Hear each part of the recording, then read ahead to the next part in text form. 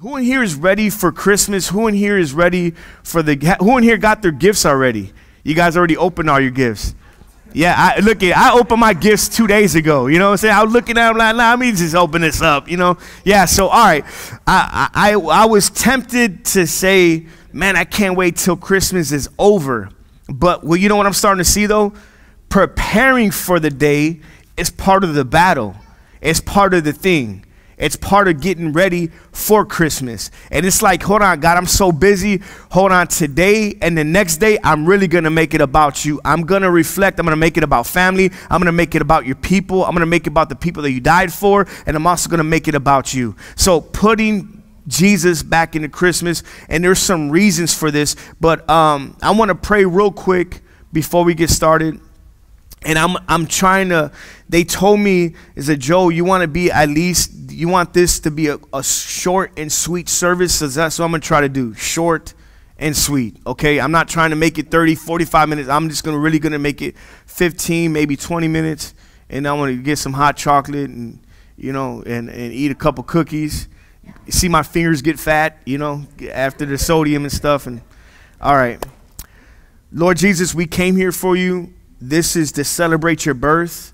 Happy birthday, Jesus Christ. This is the day, uh, uh, and tomorrow are the days that we chose as, a, as, as, as the world. We chose that to celebrate your birth. We don't know exactly when you were born, but we know it's kind of around this time. Happy birthday, Jesus. We love you. Thank you for your sacrifice on the cross. And, and help us to put this, uh, put you uh, in this season, God. In Jesus' name we pray. Amen and amen. All right, you guys may take a seat. Amen.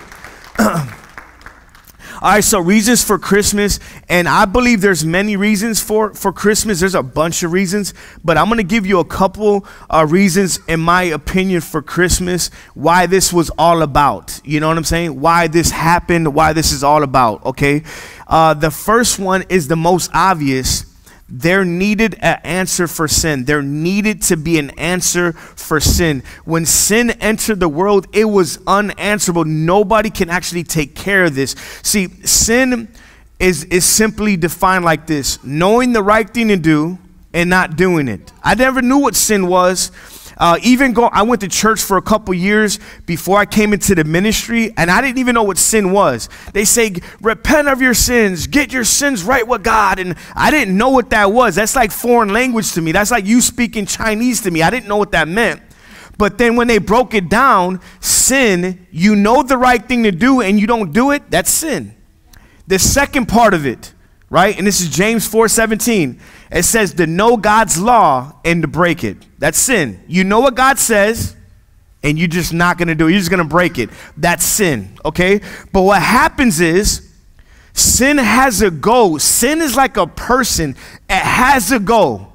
And sin's job is to separate you from Jesus Christ. It's to separate you from God. It's to push you away from God. You could be doing good and then you sin for a week and you feel far away from Him. You don't feel Him. You don't hear Him. It's like you're off beat. I, I, remember, I remember being in ministry and I'm, I'm a young minister, young in ministry, and I remember I'll be in, I'll be on fire for God, and then I'll do one week of sin, and I feel like disconnect. I'm not flowing with my pastor. I'm not flowing with the people. My words are falling on the ground. I'm talking to people, and they're like, uh, um, you don't know nothing. They don't even understand what I'm saying. Why? Because sin separates you. It throws you off. It's like you're in a boxing ring, and you get hit in the nose. You're gonna get stung a little bit.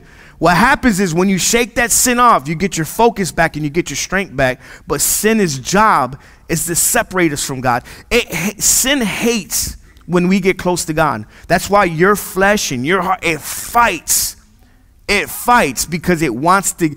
Our, our, our, we're like a sin magnet. We want to sin, right? And the moment that, that when Jesus comes, and the moment that we actually say, you know what, you start to snap out of it you learn how to fight it, okay? But sin's job is to separate you from God. It hates you getting close to God. Here's a scripture. I'm going to use that to back this up. Isaiah 59, verse 2. Look what it says. But your iniquities have made a separation between you and your God. You know what iniquity is? It's habitual sin.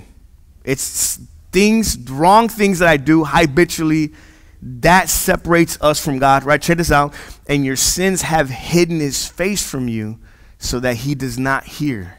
That's tough right there. Its whole design is to keep us away from God. And if a person has not dealt with their sin problem or have they have not gotten with God about their sin problem or asked for forgiveness or even help, God help me get out of this or even realized they have a sin problem by not addressing it with God, that sends us to hell. By not addressing it with God. I'm talking about if you address sin by yourself, you're halfway there, but you're not there yet. Now you say, dang, I got a problem. Let me address it with God. Now you're there. But what happens is if you we never have done this, that sends us to hell. That's a tough thing. Check this out. Sinners don't go to hell. Unforgiven sinners go to hell. Forgiven sinners go to heaven. I'm a sinner. The only difference, God forgive me. That's the, the only difference. I am no better than you. You are no better than me. The only thing that makes us different from the world, God forgive me. That's it. That's the only difference. Black and white, it's the only difference. All of us are sinners. The only thing that matters and what makes us different is that we are forgiven by Jesus Christ and we are washed in the blood of Jesus Christ. That's the only difference. And if we never realize that we have a sin problem or gotten with God about it, or never, you know, and never asked Him to help us with this, what happens is God never entered our life. One more time. If I never gotten with God about our sin problem, He never asked Him for help, right? Never said, God, help me. God does not live here the first requirement, we got to ask Jesus forgive us. That's the first requirement to get saved. Sin was created in the heart of the devil. We didn't create it.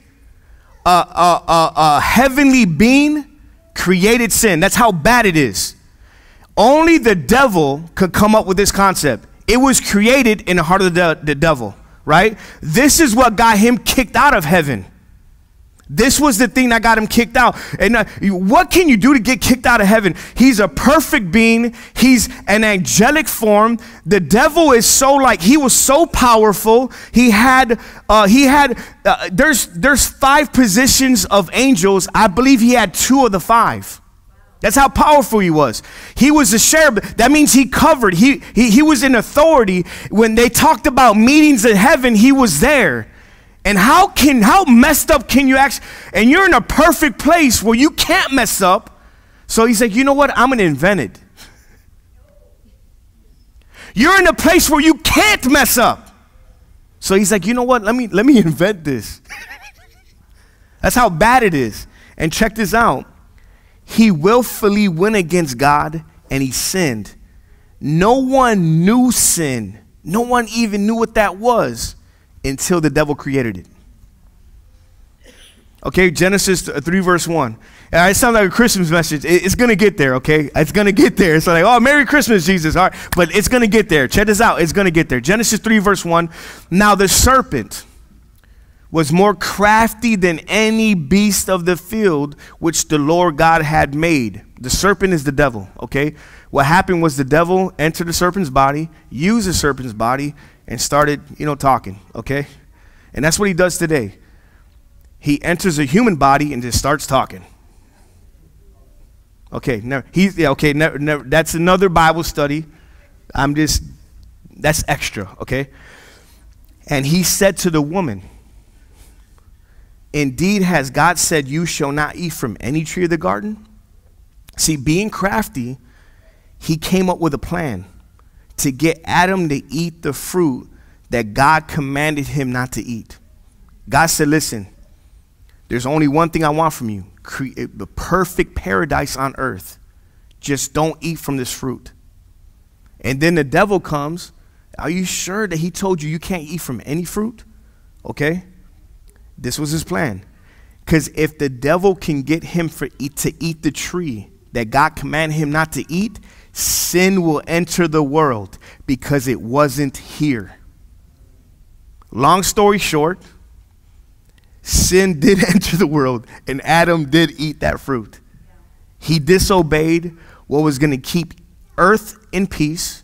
he disobeyed was what was going to keep earth a paradise. Do you know that when, when God made Adam, do you know there was, it, it was tropical? There wasn't four seasons. You know the four seasons came after Noah entered the ark?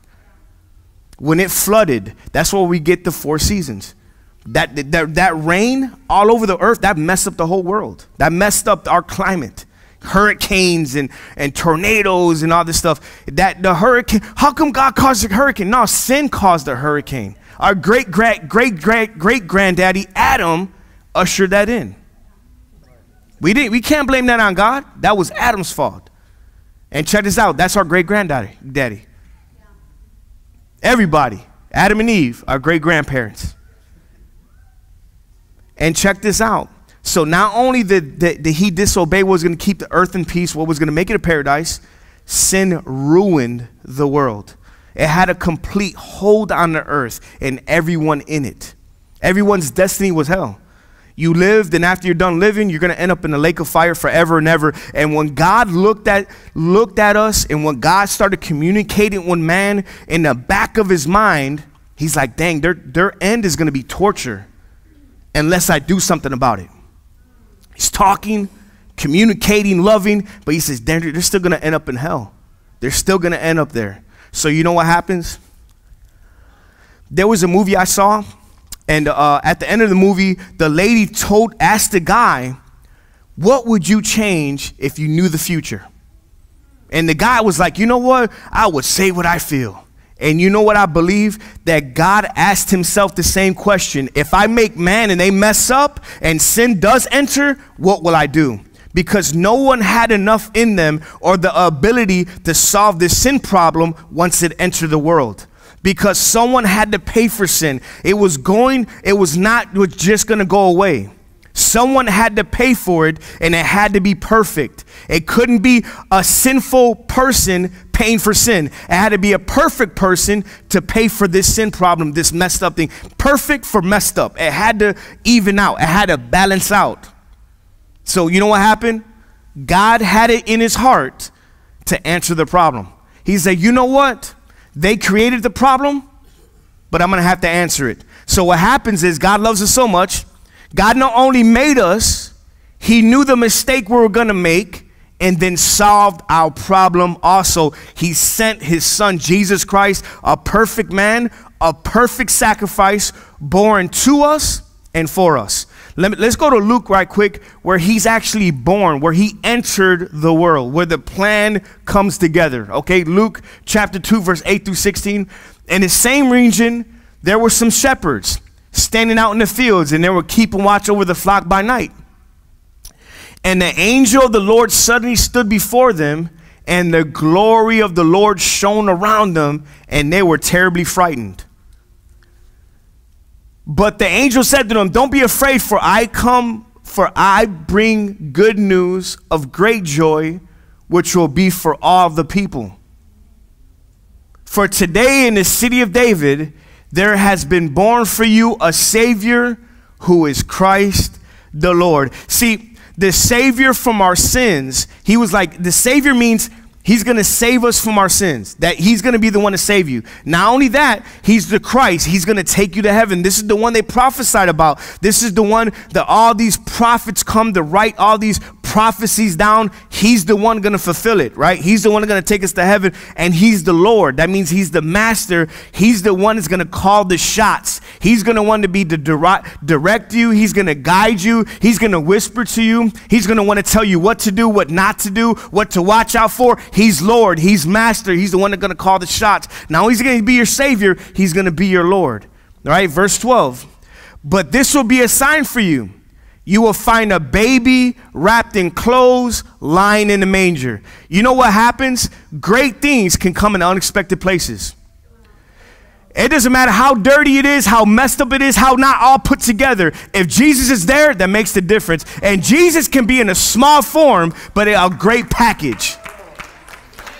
It can be a small thing. It can be like, damn, I just get a baby Jesus. But God, he said, that's enough. That's going to be enough to save your life. It sounds like the home. I come to a crazy place. I didn't know when I, look at when, when she sent my wife. You say you don't even know. I, you don't even know she was a drug addict. Do you know how bad? You know how bad she was? She was shooting drugs, shooting in her vein.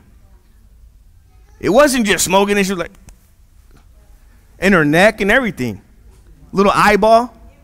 Nah, then nah, that, was, that was going too far. I'm just joking, but it was going. I mean, I heard stories, but you can't even tell after God gets done with them. You could probably look at me and say, "Yeah, I can tell you are a drug addict." Okay, you could probably, but not her. I get that all the time. Like, it, it, look at just the other day, the plumber. Look, we're expected to be here in January. I'm telling you this right now. The men's home is going to be here. We're expected to be here maybe in the middle of January. You know, hey, we're, we're, we're on one right here. We're on some. Okay, check this out.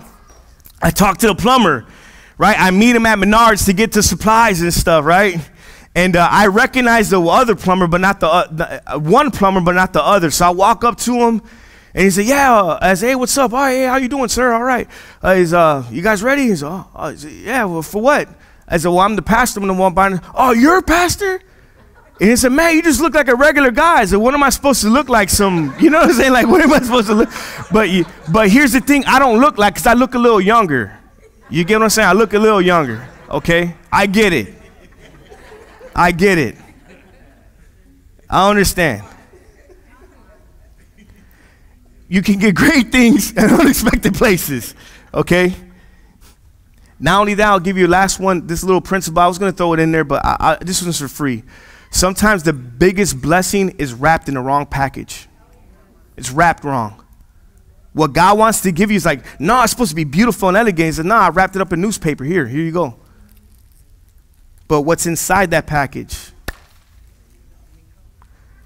Verse 13, and suddenly there appeared with them angels of multitude and the heavenly host praising God and saying, Glory to God, God in the highest. Glory to God in the highest. And, and on earth, peace among men with whom he is pleased. Look at peace among men with whom he is pleased.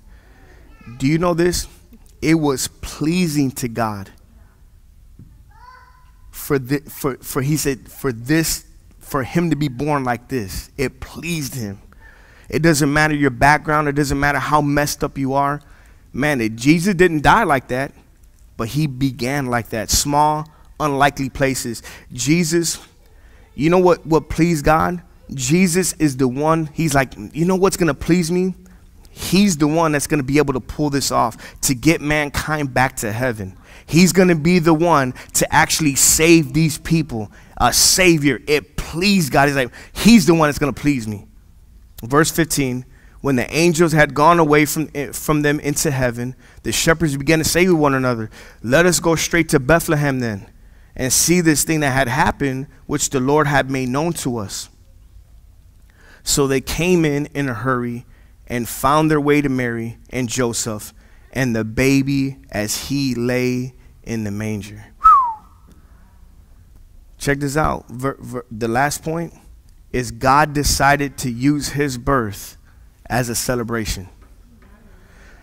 This was God's idea. Christmas was God's idea. God put it in someone's heart to celebrate his birth, and it caught wildfire. Every time we celebrate Christmas, it's a form of taking the Lord's Supper. We confess him to be Lord, right? We remember that he died for us on the cross, and we remember that he saved our life. A time to get together, exchange gifts, even remember Christ. Jesus has the same trait as his Father. The Bible says, For God so loved the world that he gave his only begotten Son. You know what? Jesus uses his birth to give gifts to everyone. He uses his birth to give gifts to everyone else so, so, so we can get together. Most of the businesses are closed. And the Bible says that every knee will bow and every tongue will confess Jesus as Lord. And check this out on Christmas, everybody's going to celebrate it. It's crazy. The whole world celebrates it. See, when people are off of work for Christmas, this is a form of confessing that He's Lord and Savior and celebrating his birth. Every time you go to a store and you get something on discount, you're celebrating the birth of Jesus Christ. Every time. Every time you bought the discount, you went, you went, who in here got a discount because of Christmas? The 20% of not, nothing? You just celebrated Jesus' birth. You just celebrated. yeah, but check this out. I know, and, and it's it, yeah, it's cool. It's like, uh, I want to end it with this, okay? Because I was gonna go further, but I told my wife. My wife told me 15, 20 minutes. So I'm gonna stick to it. I think I'm doing good, right? I think I am. She don't even want to look at me now. Okay, yes or no? Okay. I want to end it here, okay? And as we sh- shut off the lights real quick, as we shut off the lights, God put a star in heaven so it can get our attention to follow it so we can get to Him. And today, I want to put a light and ask God to come follow these lights and land on us. Okay? And I want to ask you guys to take out your phones. Okay? And put the light on real quick. And I'll start with me. Look at this. Just put your light on and put it up in there. Just put it up in there.